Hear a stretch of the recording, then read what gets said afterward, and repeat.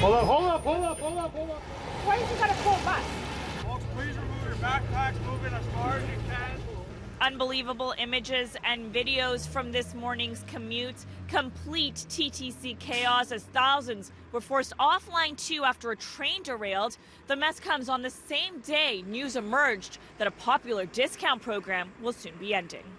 Like, what is this? What is this? And then they want to. Frustration and commotion as huge crowds spill onto the sidewalk after being forced out of the tunnels, pushing, shoving, and forcing their way onto shuttle buses. Extremely frustrating. I was trying to go to work this morning and this mess happened. I'm at least two hour, an hour and a half late for work now.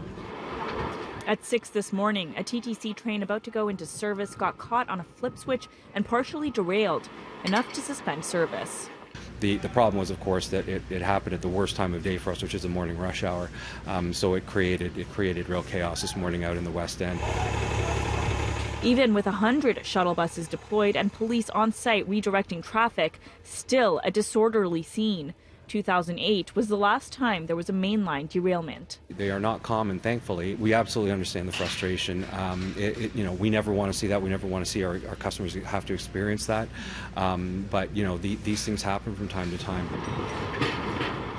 The TTC now analyzing how or why this happened today, the same day it was announced that a popular discount program is coming to an end. This is a fare hike, pure and simple. The Ford government is canceling a $1.50 fare discount for riders transferring between GO and the TTC. The program was introduced by the Wynne government in 2018, and critics say removing it will disincentivize people from taking transit. Uh, Doug Ford's move to cancel this program will mean commuters will be paying more, and that's not right. Not only that, it is a step back for a region working towards fare integration, so riders can get from one system to another without paying two full fares colors on the buses and the vehicles and who operates it, it to the to the user is not relevant. The, the, user wants to be able to travel easily across this region, and at a time when we're uh, trying to get people out of cars and give them other alternatives, uh, both for congestion reasons and to address issues of climate change, we really need the fare structure. Really uh, is is a, is a, is a key piece of, of the puzzle. In a statement, Metrolinx says while the province covered the cost of the discount by up to $18.4 million annually, the program exceeded the budget every year. And Metrolinx has covered the $9.3 million shortfall since its launch. They say they'll be bringing forward solutions in the near future. The Ministry of Transportation did not comment by deadline.